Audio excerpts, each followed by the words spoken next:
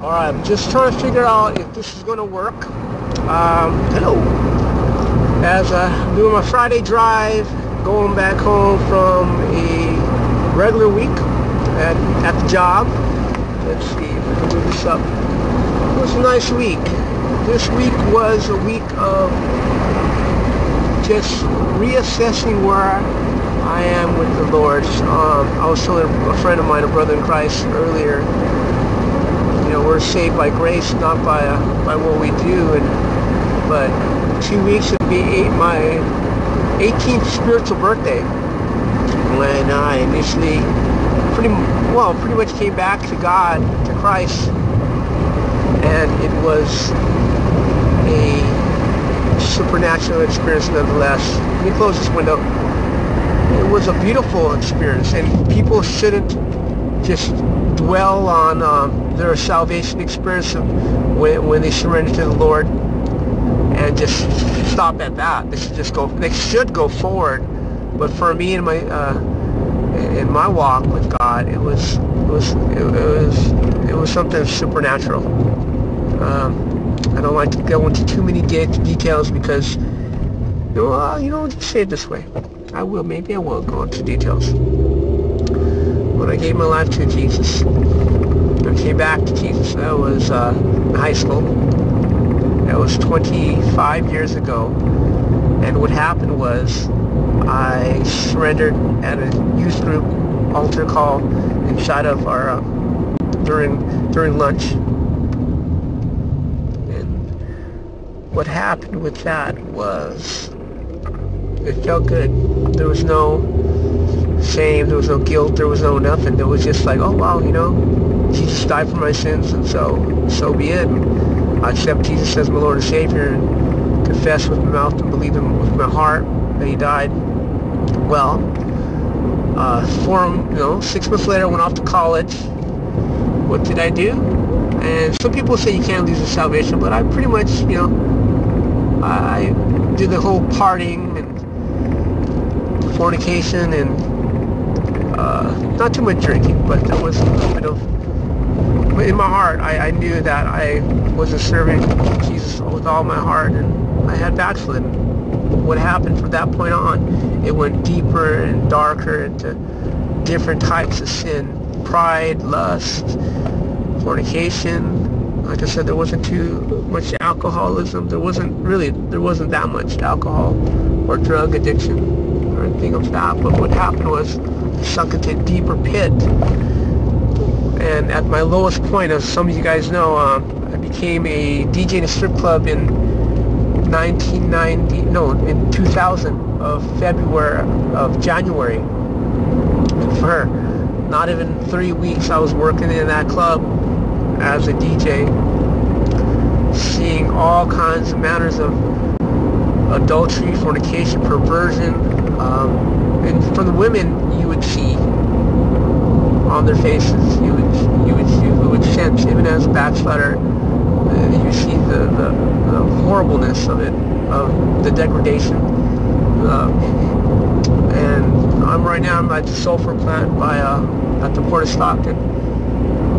When I gave my life to the Lord, I smelled sulfur, just how this sulfur plant over here smells, but way worse. For like a week straight, I had started dabbling in Filipino witchcraft.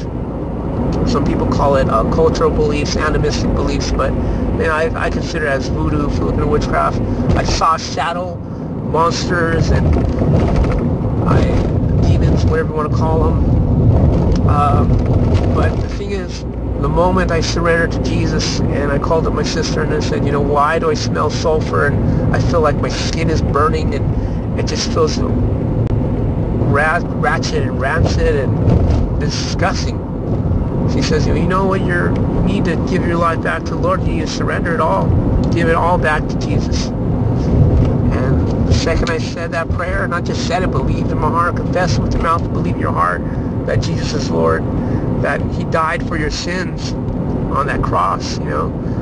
Um, there was a weight lifted. That, that fear, those, that, that, um, that fear of death, that fear of, uh, of ugliness. They said, you know what? do not fear the one that could that could kill you, but fear the one that could kill you and send you to hell. And that fear was gone, and it was all God. It was all Holy Ghost. So that was 18 years ago. Two more weeks, 18 years ago. It's February 17th, 2000. Now it's February 2nd or 3rd, 2018. And I had my share of uh, stumbling, but I came back. And what happens, my mom used to say it this way, when you fall seven times, when you fall, get back up, climb back up. And every step of the way, when, when I have, haven't been living up to my full potential as a Christian, as a believer, I had to just step back up and say, you know what, I'm not going to feel sorry for myself. I'm not going to have a pity party. I'm going to live for Jesus, and it's going to be wonderful, fantastic. It's going to have a lot of joy, you know, even in the downtimes, even in the financial struggles, even in the points of like people looking and say, why are you still serving God? Look, you're, you're, you don't got a wife, you don't got a girlfriend, you got no kids, you don't got, you still got debt, you still have problems. Well, yeah, you know what? 18 years ago I had debt and I had problems, but there was sadness there. Now there's, now there's, you know, they say there's a between joy and happiness. Joy, well, happiness depends on what happens. Joy is dependent on, Christ and what he has done. And that knowing, it's not a feeling, it's a knowing that God's got your back no matter what. And I'm at a place in my life where there's a lot of contentment and there's a lot of going forward. There's a lot of plans I have, but whatever God wants to change my plans, I'm willing. I'm now I'm willing to, to go and, uh, and and fully accept God's changing of my plans. You know, I mean, I, I really do have my uh, my dreams, my goals still. But if God wants us to alter that, uh, there's uh, there's an okayness with it. They say, okay, God, whatever you want. I mean, because what's the, what's alternative? What's the alternative? You can uh, fight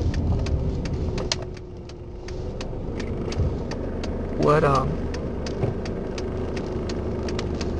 God's plans, but what's going to happen is the fact that you're going to the worst thing you can do when you fight God is that you get what you what you want and leave leave God for second best. These guys are moving over. You know, and God can say, you know what? Fine, have your way.